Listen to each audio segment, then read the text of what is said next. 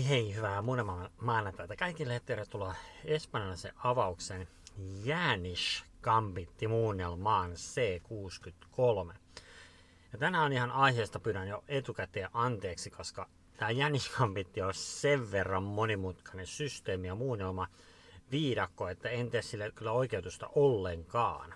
Eli jää muunnelmia käymättä, mutta koitan keskittyä olennaisimpaan ilman, että tästä tulee puolen tunnin show.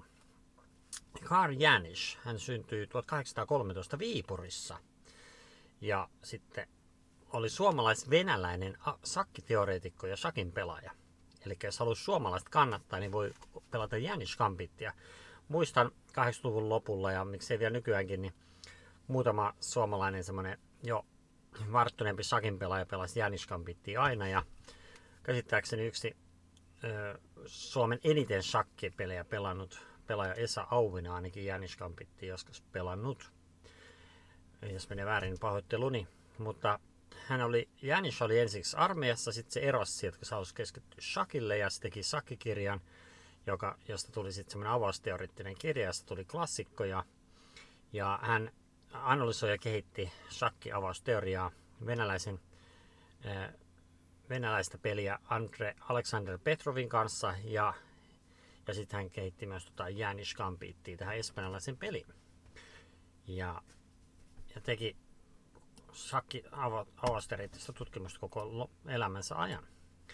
Ja lähdetään katselemaan, mistä se Jänish Gambitti nyt alkaa. Eli Espanjan lähti täältä ja lähti B5 ja nyt tämä F5. Tämä F5 on semmoinen siito, että se on pikkasen vaarallinen – koska siinä pelataan jo F-sotilaalla, mutta siinä halutaan nyt taistella tässä keskustan herruudesta ja yritetään saada toi sotilas pois tuosta E4, jotta me saadaan sitten myöhemmin tuota sotilas ehkä D5 pelaamaan.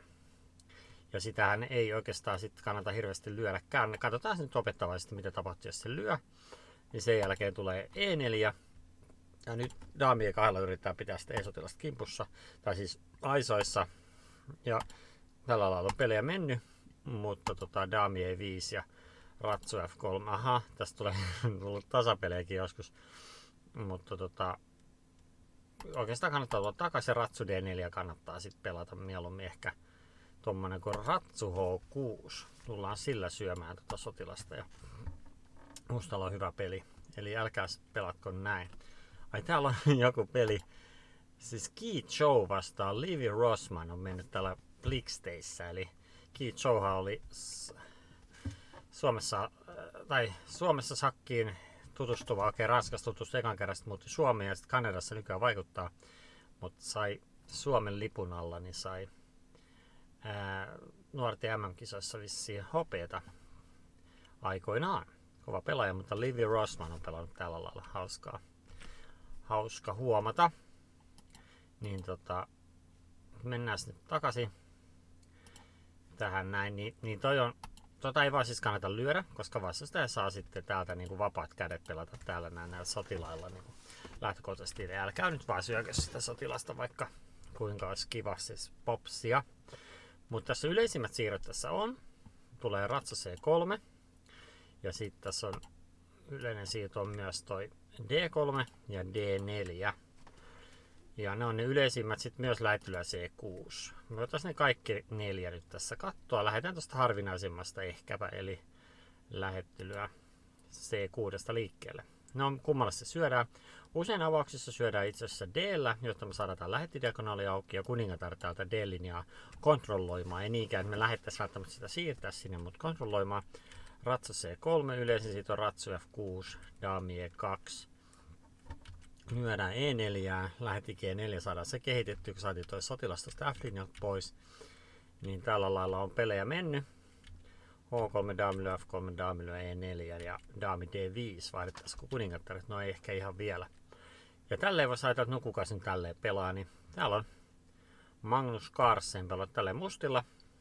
Eli tota, tässä taisi Milos pelata jollakin eri tavalla. Ja toi pelihän päättyi tasapeli 2014. Tässä on tota, onko tässä joku rohkea? Joku rohkea on pelannut Kukku E2. Kukku E2 on toi sakkitietokoneen suosikki ainakin nyt kun mä kattelen, niin Poncloudin edelläkävijä, kunkku E2. Niin, niin tää on tota, kone ykkössuosikki. Ja silleen peli voisi mennä, mutta eniten tullut lähetti D2 ja tornitus ja tornitus lyödään, lyödään ja tässä nyt on, ollaan aika tasaisissa vesissä. Kovaleve Schellings Siepper tai joku semmonen 1995, eli silloin Suomi voitti ensimmäisen jääkiekon mestaruuden. Eli tämä oli tämä lähettylä C6, niin pieni maininta, silläkin voi pelata. Sitten kolmanneksi suosituin tässä on toi D4, ja tätä on pelattu aika paljon. Tai on sille ihan suosittu, suosittu. Täällä on mustilla on Firoutsa pelannut ja Nigel Short valkealla ja jotain tällaisia muun muassa mainitakseni.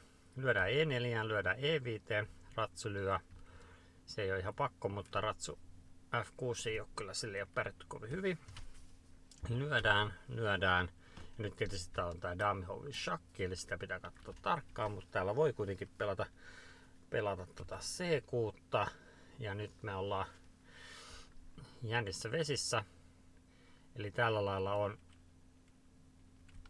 Eli tässä oli nyt se tilanne, että jos tämä lähetti väistyy, niin silloin käsittääkseni tulee daamisakki ja sitten toi E5 tippuu tuolta. Näin. Eli C6 jälkeen pitää valtavaa ratsa C3. Oho, lähetti meni. No. Ja tää on todellakin tää jänniskampitti on niin terävä muunnelma, että täällä tulee hurja juttuja. D5 on pelattu eniten, tässä on vielä 280 peliä, eli tätä on pelattu Sanal on täällä, josta mä maininnut ennenkin mun YouTube-kanavalla, niin turkkilainen pelaaja ja Firoutsa Mustilla tosiaan pelannut. Tulee tällainen, mutta Valkeallahan on keksi, on tuo ohjastolöyti keksitty, Ratsu F6 ja menee aika hurjaksi tää peli. Täällä on tämmönen damishakki A5, pitää se pelata. Ja nyt jos, ei, jos laittaa vaikka lähetin väliin, niin silloin täältä tulee B4 ja tässä on mustalla hyvä peli. Ää, liian hyvä peli mustalla. On sillä se subseri enemmän. Eli pitää laittaa itse asiassa ratsu väliin. Ja nyt yritetään vielä hyödyntää näitä, näitä tota, heikkouksia, mitä mustan kuningasasemassa on.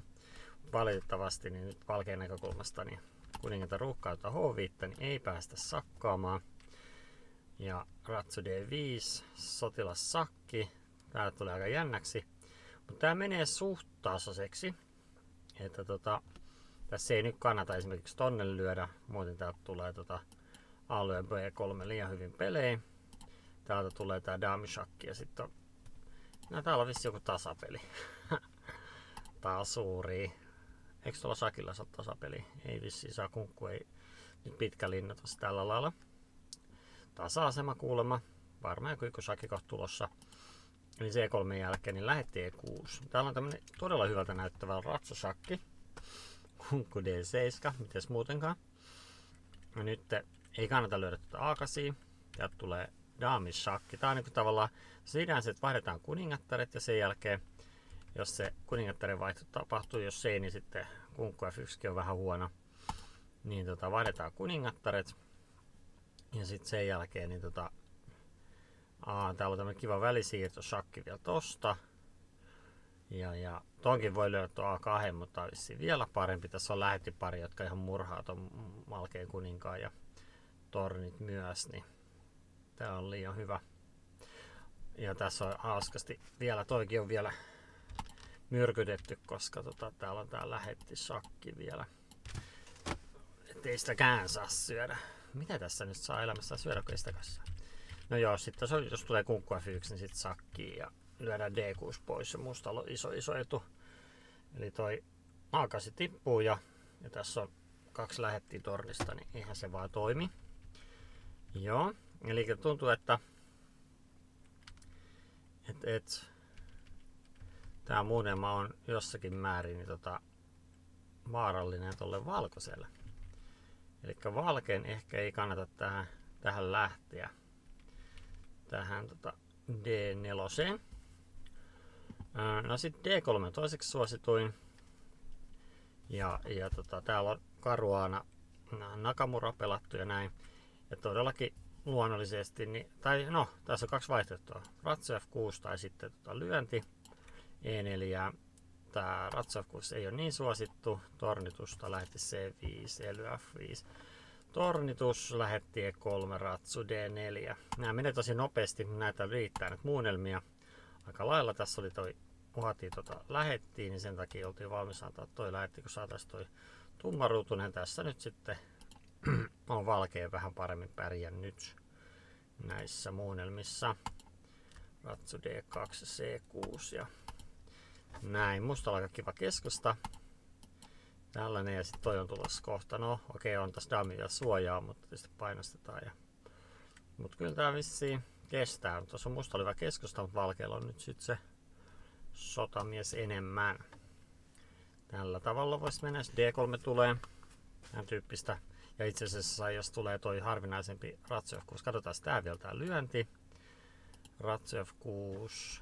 Eli Ratsu F6 on tietysti todella luonnollista pelata aika nopeasti, niin kontrolloidaan myös sitä H5 tietysti myös suotaan tonne E4 suuntaan. Tornitus, lähetti C5, lähetti lyö. Tässä on vissi ideana, että hakee E5. Näin, täällä on Karuana Nakamura tasapeli päättynyt lopulta.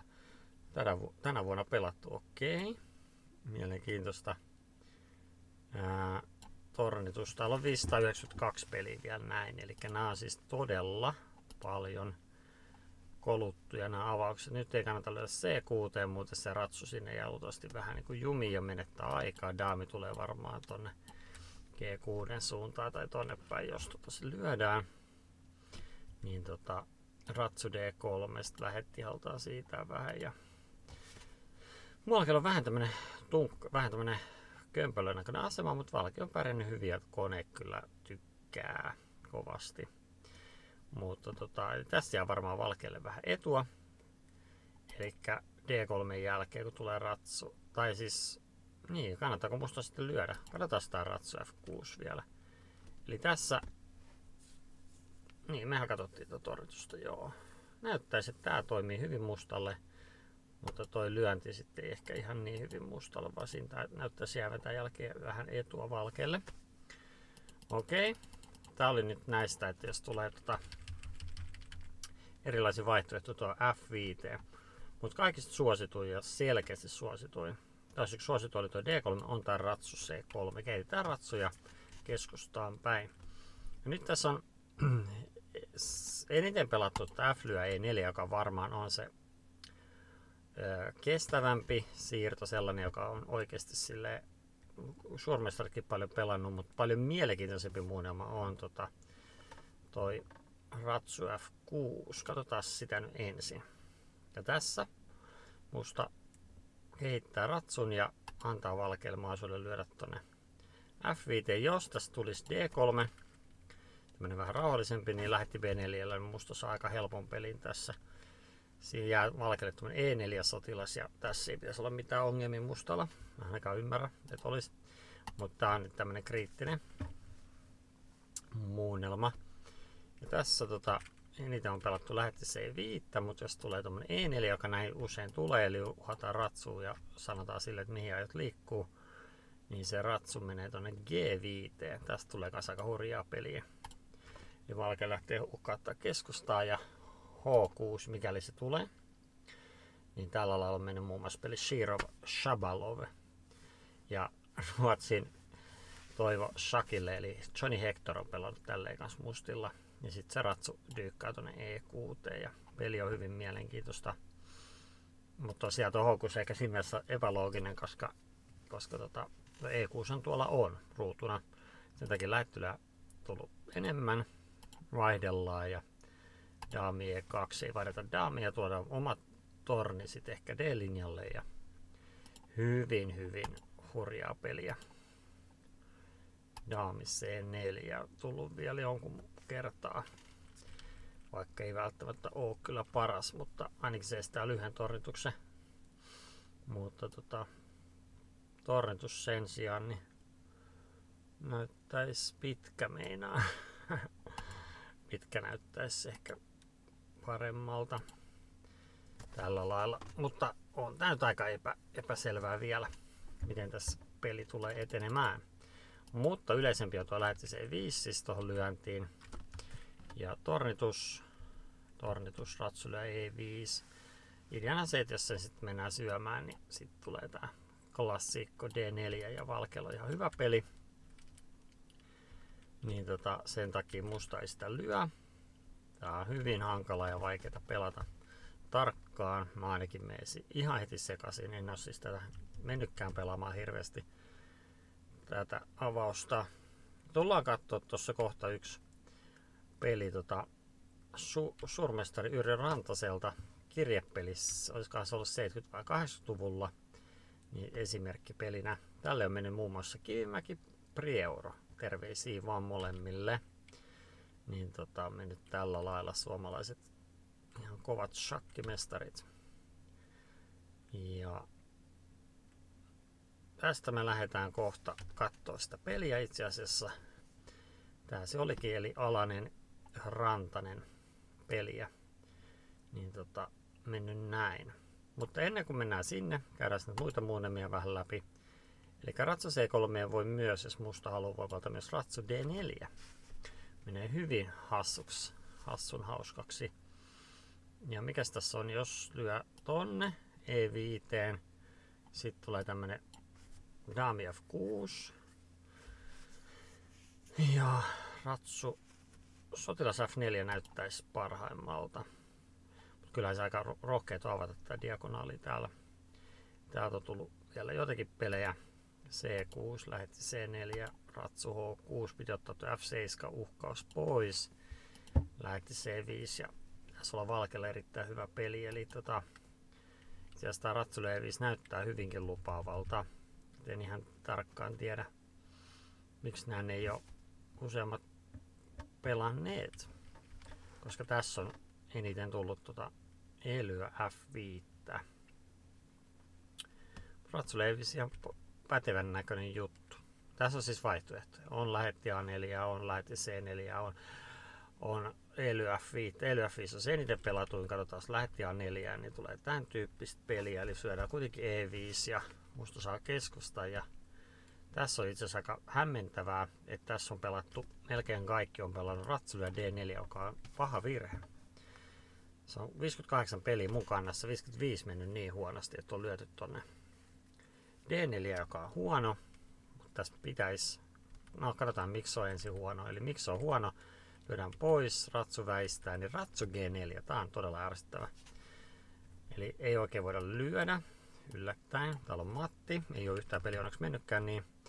Mutta sitten mitä se sijaan, jos tulee H3, niin sitten tää on voittamassa. Jos lyödään toi ratsu, niin sotilaalla, niin tämä kiinnitys tulee voittaa. Täällähän uhkaa kohta torni lyö daamishakki ja sitten lähetti lyö F3 ja Matti tuolta, niin tää vaan, musta vaan voittaa. Kone sanoo paras siitä on ratsu lyö D4 ja se osoittaa, että tässä ei ole kaikki ihan kunnossa, eli H3 on tietysti huono.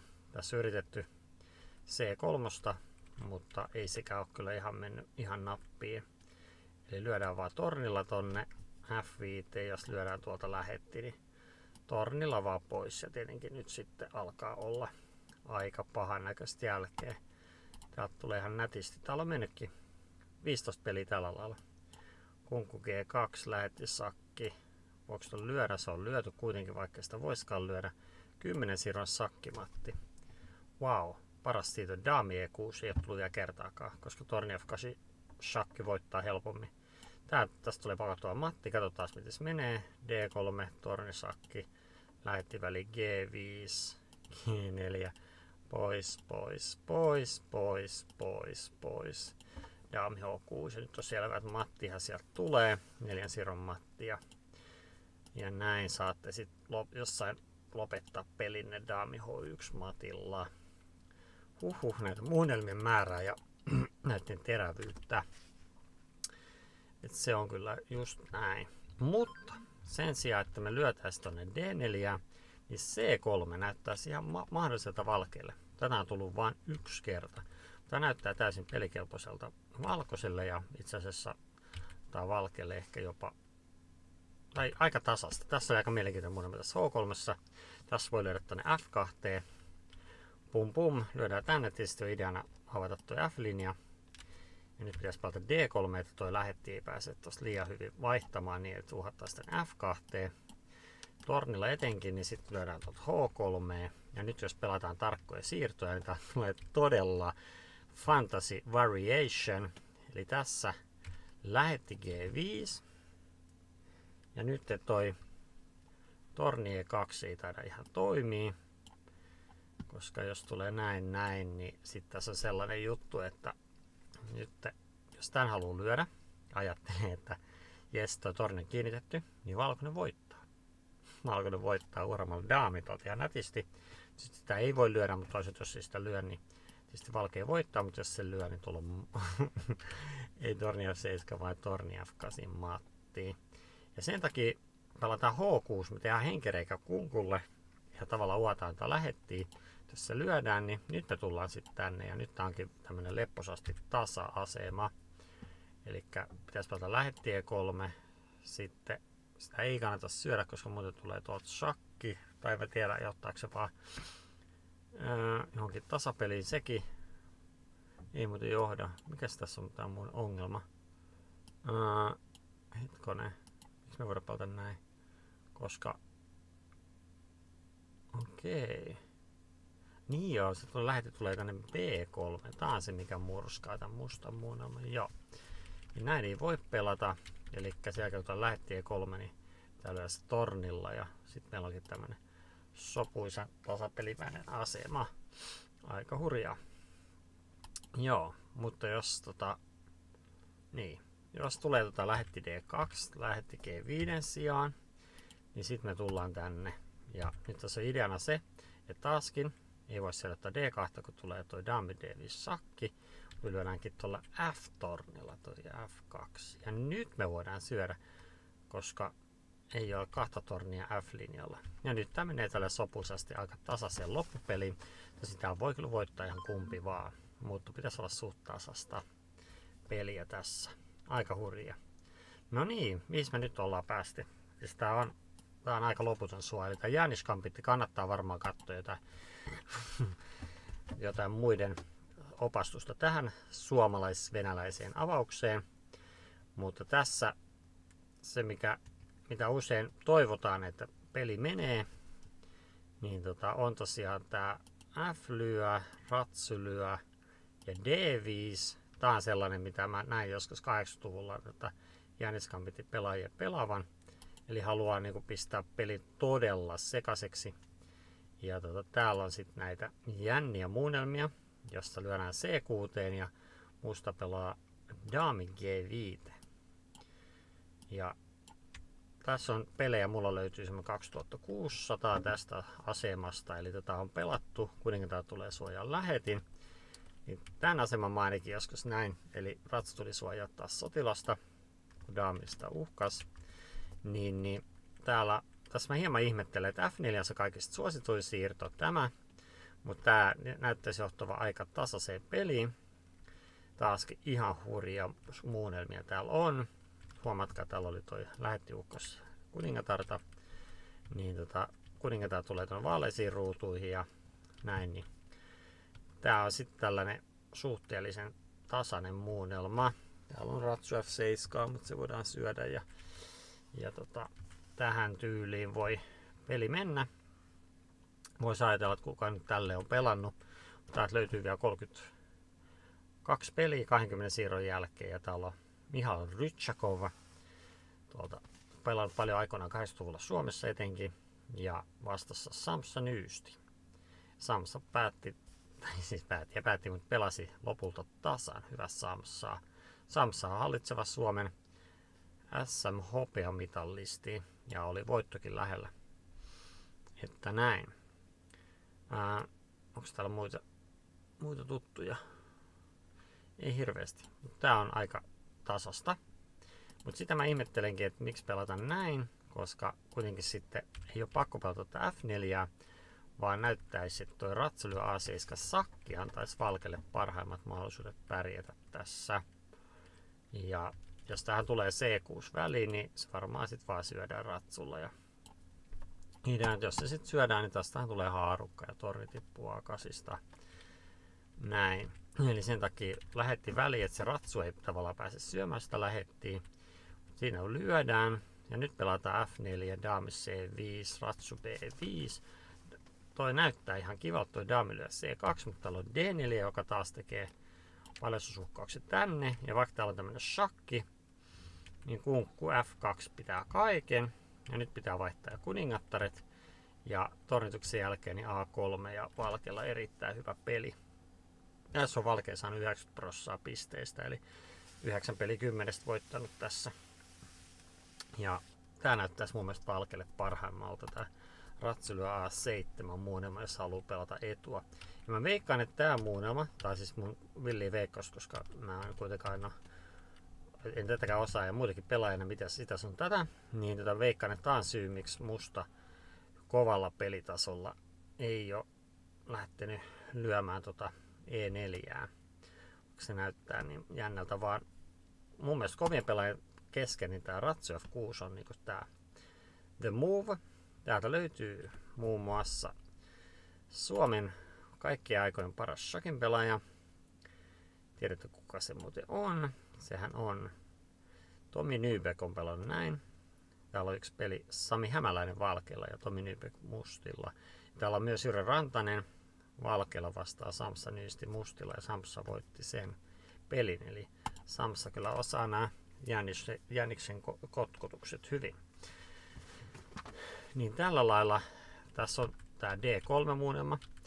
Tällä lailla voi myös pelata. Me lyödään niin siis tähän me katsottiin. Niin siis, sorry. No niin, mutta ratsu F6, lyödään F5, niin tässä. Niin tätäkin me katsottiin, joo. No näin se vaan muisti tekee deposit, että tällä lailla on mennyt pelejä. Ja tota, täällä Ivani Shevich on tällainen must, mustilla pelannut tätä. No niin, tähän me katsottiin aluksi. Näin se mullekin menee nämä muunemmat sekaisin. Aivan. No hyvä, jos me päästään tää suhteellisen kahlattua jossakin määrin edes läpi.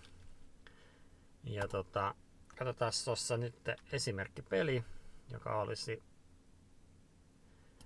ää, on Ventti Alanen vastaa Yri Rantanen. Ventti Alanen ei mulle valitettavasti kerro mitään, mutta tämmönen kirjasakki peli vuodelta 1979 ja tää meinaa tää loppuu aika beautifully. Yrjö Rantanen valitettavasti menehtyi tuossa taan noin. Niin tää on tätä Ratsu D4 muunnelmaa.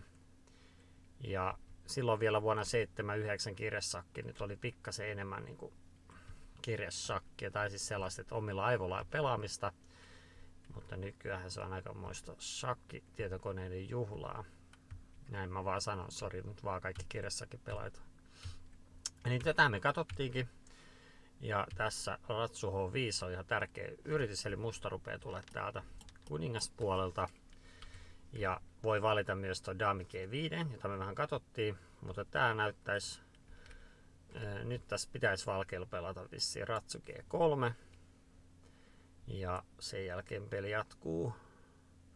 Veikkaan, että no, tässä on nyt se ongelma, että nyt kun tulee toi lyönti, mikä ehkä tulee, niin, niin tota lyödään se holla.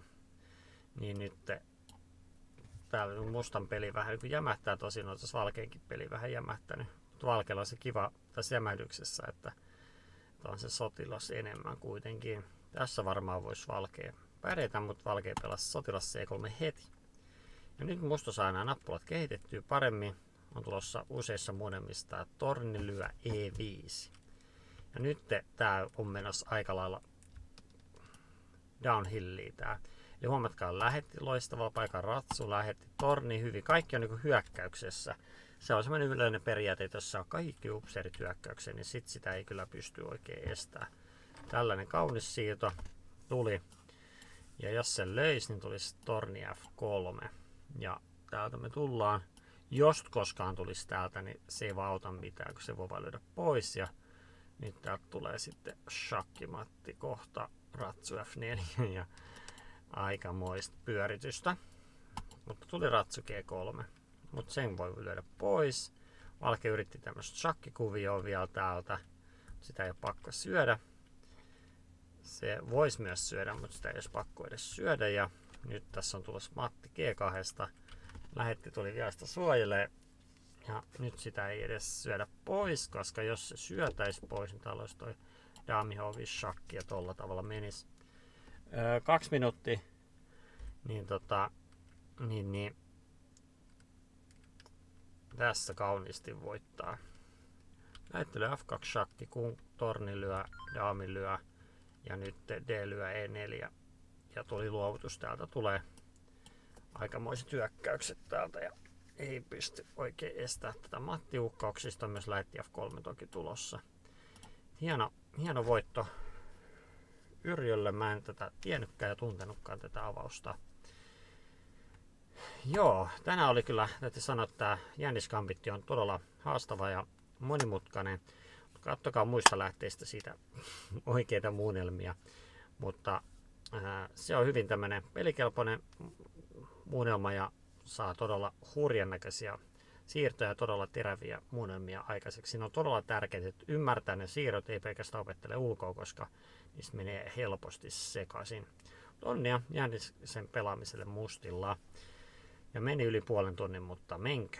Kiitos ja nähdään ensi viikolla taas muiden tässä. Hei hei!